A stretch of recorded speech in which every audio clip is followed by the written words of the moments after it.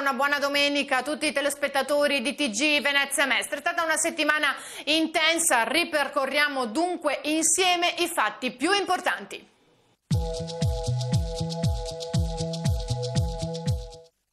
Voglio ringraziare insomma, i cittadini e tutte le persone insomma, che mi stanno aiutando e a cui dedico evidentemente questo risultato. Il suo ringraziamento va in primis ai cittadini. A loro Luigi Brugnaro dedica il secondo posto che si è guadagnato nel sondaggio annuale realizzato per il Sole 24 Ore sul gradimento degli amministratori locali. Di più, se si votasse oggi a sette mesi dalla sua elezione, Brugnaro guadagnerebbe l'8,8% di consensi sulle schede rispetto a quanto ottenuto alle elezioni. Lui è emozionato e soddisfatto, ma questo posto non lo considera solo suo. Eh, ci sono veramente molte persone, amici, e funzionari e dipendenti anche del comune stesso che oggettivamente con grande generosità si stanno, si stanno adoperando perché la città di Venezia, le città di Venezia come amiamo dire, Marghera, eh, Catene, Mestre, Zelarino, eh, Lido, Pelestrina, Murano, Burano, cioè ci, ci stiamo adoperando perché effettivamente questa città possa ricominciare a camminare con le proprie gambe. Secondo il primo cittadino il merito è la coerenza nei confronti dei cittadini. Che la gente oggi vuole cose concrete, vuole sentire, mm, vuole sentire coerenza, cioè se tu dici che eh, vuoi fare delle cose e ti votano per quelle cose, la gente si attende, mi sembra anche il minimo della pena, che tu faccia queste cose o comunque vada verso quella direzione. Questa dovrebbe essere... Eh, insomma, è una caratteristica importante di tutte le persone per bene, quella di essere coerenti. In Veneto un altro sindaco nella top ten è Massimo Bitonci alla guida del comune di Padova che occupa il sesto posto. Brugnaro è però la rivelazione dell'anno considerando anche la sua prima esperienza in politica. La situazione trovata a Venezia era disastrosa, bilancio in primis. Ecco perché secondo il sindaco il segreto di una buona amministrazione è non avere debiti di alcun genere. L'importante è costruire una vitalità alla città senza indebitarla, senza indebitare i, i, i, giovani, senza indebitare i nipoti, senza indebitare le prossime generazioni. Do, non possiamo vivere a debito, dobbiamo liberarci di questi debiti, dobbiamo oltre che amministrare la città, eh, secondo me come il buon padre di famiglia dobbiamo pensare proprio alle cose minute, alle cose semplici. Eh, eh, guardate, credetemi, è un'esperienza incredibile da quanto eh, problemi si trovano. Il vincitore della classifica è il sindaco di Lecce, Paolo Perrone.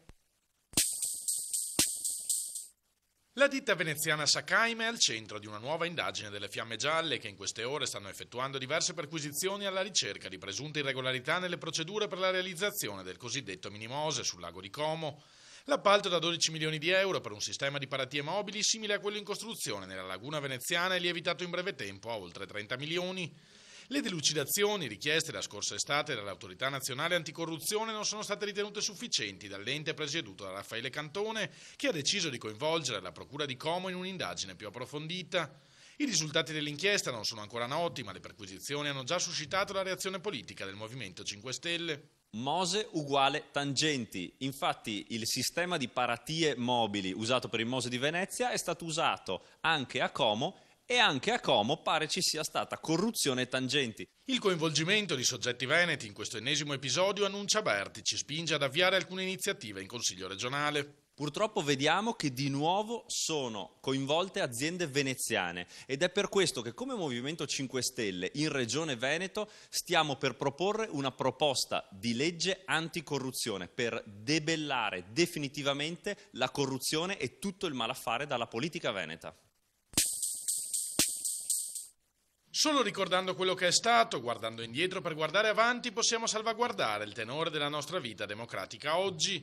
E questo è il significato più importante che il sindaco di Venezia, Luigi Brugnaro, attribuisce al giorno della memoria, le cui celebrazioni a Venezia non dureranno solo 24 ore, non si limiteranno alla cerimonia ufficiale. La cosa importante è anche il fatto della differenziazione culturale, di tipo di arte. No? Ci sono eventi musicali, ci sono eventi teatrali, eh, ci sono eventi di testimonianza nelle scuole, cioè l'offerta è variegata per permettere a tutti di riflettere anche a seconda della propria diciamo, eh, predisposizione, no? uno può essere più interessato alla musica, uno può essere più interessato ad ascoltare, cioè cerchiamo di coinvolgere in tutte le maniere possibili per far riflettere. A Venezia, più che di giorno della memoria, forse si dovrebbe parlare di rassegna della memoria, riflettono della comunità ebraica, vista l'ampiezza del programma di questa ricorrenza, che ricorda non solo il genocidio degli ebrei, ma anche quello degli zingari e il sacrificio dei militari internati nei campi di concentramento. Quest'anno è particolarmente importante perché cade anche il cinquecentenario della nascita del ghetto. È una cerimonia che intendiamo ehm, che avverrà a marzo nella quale intendiamo avviare una riflessione proprio sui luoghi di chiusura che nel corso dei secoli hanno contraddistinto gli ebrei. Non c'è nulla da festeggiare, ma soltanto una riflessione sui luoghi di costrizione eh, che hanno riguardato in particolare gli ebrei. Il termine tecnico è norme per la realizzazione di edifici di culto. È stata ribattezzata legge antimoschee. Dopo le audizioni presenti cinque rappresentanti del mondo islamico, alcuni valdesi e il portavoce della comunità induista, la commissione urbanistica ha dato il via libera alla normativa che ora passa al vaglio del Consiglio regionale. Un luogo di culto per essere aperto dovrà rispettare determinati standard. La legge inoltre è retroattiva. Gli spazi da dedicare ad attività di tipo di culto o di carattere comunque religioso, che sia formativo, che sia di professione insomma religiosa, possa avvenire solo in determinati spazi, regolamentati poi dai singoli comuni in base al loro piano degli interventi, al piano di assetto del territorio che hanno in approvazione. Quindi prevede anche, a seconda anche della tipologia di uso che ne vuoi fare, eh, la presenza anche di adeguati parcheggi, di standard adeguati. Le comunità islamiche hanno definito la nuova legge anticostituzionale. Non spetta alle associazioni islamiche decidere se una legge è costituzionale o incostituzionale, a questo ci penserà sicuramente qualcun altro. Il Movimento 5 Stelle parla di legge assurda e lancia una provocazione. Eh, devono adattarsi e chiedono che abbiano tutti gli edifici siano a norma e che abbiano parcheggi adeguati per le persone che le frequentano. Allora la nostra domanda è e col Santo di Padova cosa facciamo? Costruiamo i parcheggi sotterranei e con la chiesa di San Marco e con tutte le chiese esistenti in Veneto? Allora, queste sono delle norme che non hanno senso di esistere perché mm, com'è possibile dare una possibilità appunto di, cosa, di costruire tutte le chiese da zero? Noi veramente non capiamo cosa stia facendo la maggioranza. Tre volte era partito, tre volte è tornato indietro. Ora la quarta pare essere quella buona, perché finalmente Poste Italiane ha preso in carico il ricorso alla Corte di Cassazione di Renato Chisso contro l'ordinanza con cui il Tribunale di Sorveglianza a novembre aveva rigettato la sua richiesta di detenzione domiciliare. Il difensore dell'ex assessore regionale alle infrastrutture aveva sottolineato la stranezza della vicenda. Nelle scorse ore il dirigente amministrativo del Tribunale di Sorveglianza, la dottoressa Piera Piera dalla Zuanna, ha preso carta e penna per scrivere una lettera e dare la sua versione dei fatti, rivelando anche un particolare curioso e clamoroso, ovvero che se alla fine il ricorso è partito è stato solo perché la spesa è stata affrontata dai cancellieri stessi che hanno fatto una colletta. Quando un legale fa un appello contro un provvedimento lo fa direttamente all'ufficio che l'ha emesso, è poi quest'ultimo a prendersi in carico tutta l'attività necessaria per spedirlo all'ufficio successivo, in questo caso la Cassazione a Roma. In questo iter, però, all'apparenza semplice, stando al racconto di Dalla Zuanna, si possono inserire dei problemi inaspettati, come per esempio il fatto che dal primo dicembre sia scaduta la convenzione tra il Ministero della Giustizia e le poste per la spedizione con raccomandata dei pacchi oltre i 2 kg. Proprio il caso del ricorso di Chisso, che messo sulla bilancia pesava 2 kg 600 grammi. Magari si fosse trattato di chili, purtroppo si tratta di soldi, si legge nel comunicato a firma della dirigente. Il fascicolo con gli atti è stato tempestivamente preparato dal Tribunale di sorveglianza e consegnato all'ufficio postale, ma da lì, proprio perché mancava la differenza in termini di pagamento, è sempre tornato indietro. Ladri di elemosine in azione nella chiesa di Gesù Lavoratore a Marghera, dove le cassette per le offerte sono state forzate da ignoti. A denunciare il furto ai carabinieri il parroco Don Luca Biancafior. La mia idea è che eh, siano tossicodipendenti, almeno così mi pare di poter dire. E, e quindi voglio dire, da questo punto di vista si riapre una ferita eh, che è presente ormai da tanto tempo in questo quartiere, che appunto, questo quartiere e in Marghera in generale credo di poter dire, che è quello appunto della facilità di reperimento della sostanza stupefacente. Il furto dell'ammontare di non più di 150 euro, secondo il parroco, potrebbe essere stato commesso da alcuni extracomunitari sbandati che sostano spesso nelle vicinanze della chiesa. I problemi di questo quartiere sono noti e non possono essere risolti dalle sole forze dell'ordine, che pure si danno da fare, sostiene Don Luca. Si tratta di una questione soprattutto culturale. Da anni si parla di riqualificazione.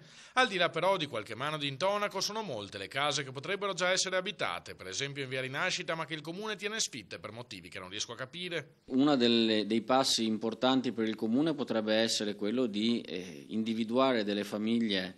Eh, corrette, perché spesso questo quartiere è stato un po' la discarica no, del, del, comune di Venezia, delle famiglie corrette e magari chi lo sa, giovani o meno giovani, questo sì, non è un discriminante voglio dire, che possano venire qui e riportare un po' di vitalità. Credo che la cosa importante sia quella di contagiare il male con il bene. Bisogna andare fino a oltre il semaforo, dopo si attraversa, si passa sui binario mi sembra 5 o 6 e poi dal 5 e 6 bisogna camminare tutto di là, alla fine pensilina più in fondo c'è un altro passaggio per arrivare ai binari 8. Se questa era la situazione alcuni mesi fa, quando il signor Bauduzzi ha denunciato le difficoltà che incontra un disabile che deve prendere il treno alla stazione di Mestre, questa è la situazione oggi.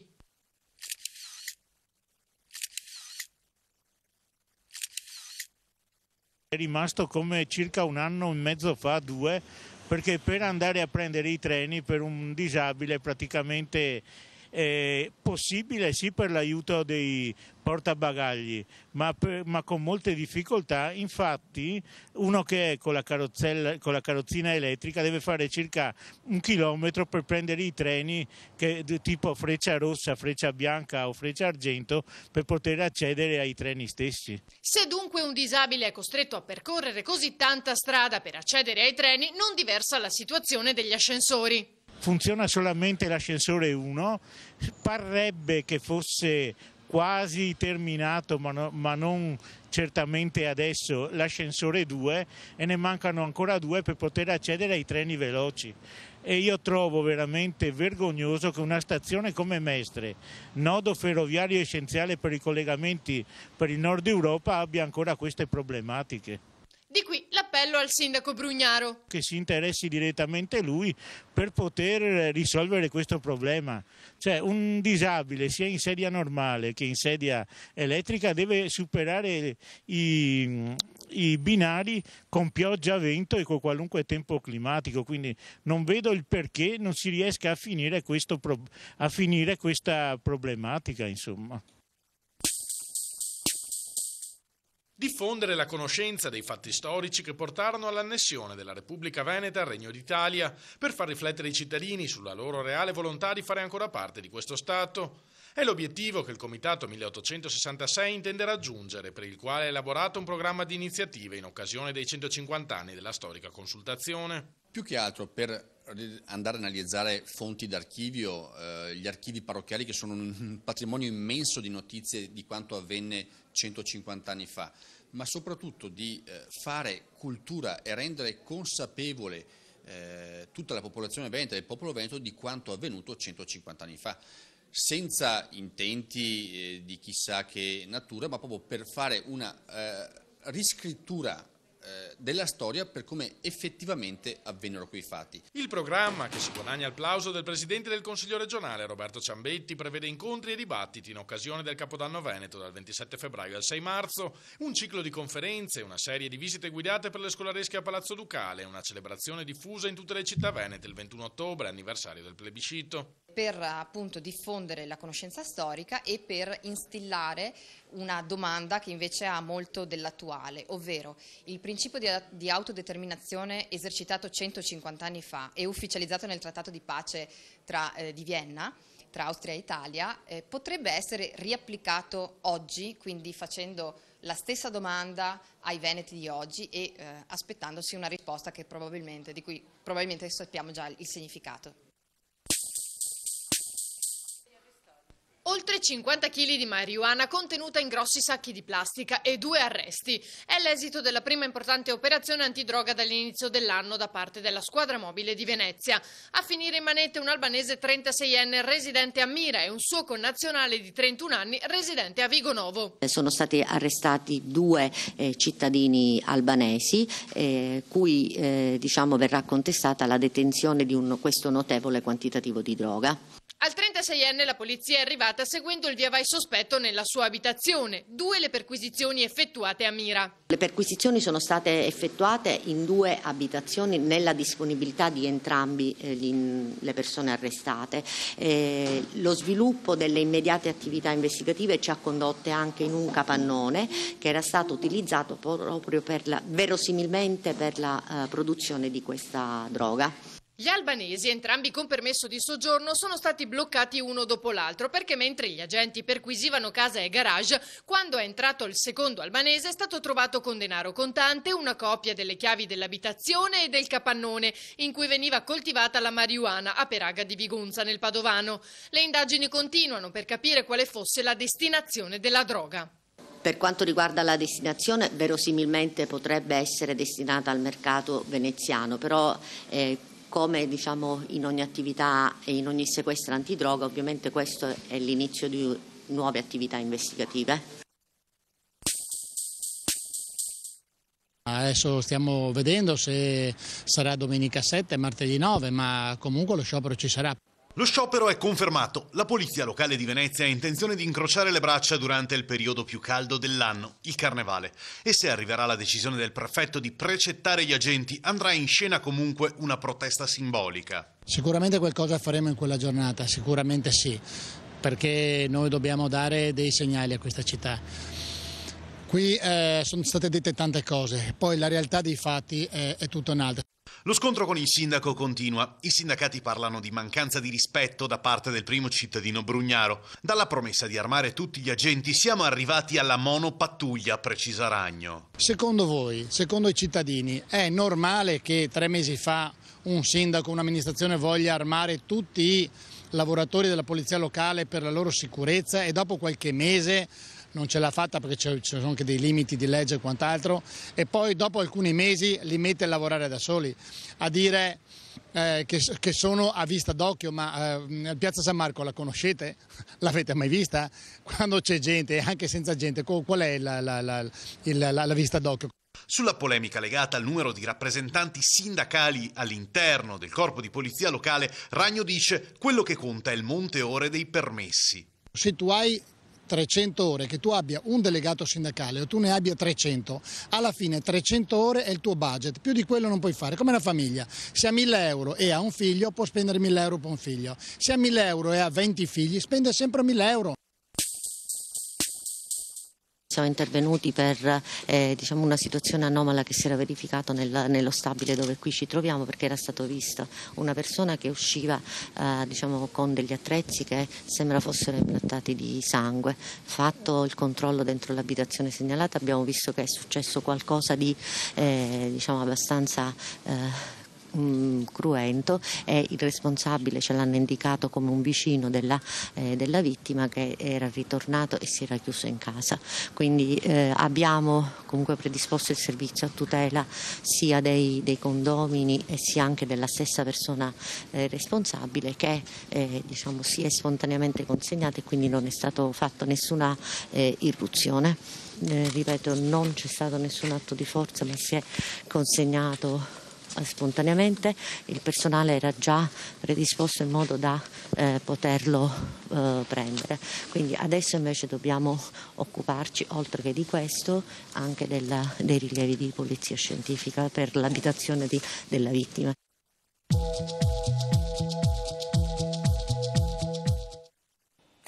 questi erano i fatti più importanti che hanno caratterizzato la settimana eh, TG Venezia Mestre termina qui. Vi ringrazio per essere stati insieme a noi. Vi auguro una buona serata e un buon inizio di settimana. Arrivederci.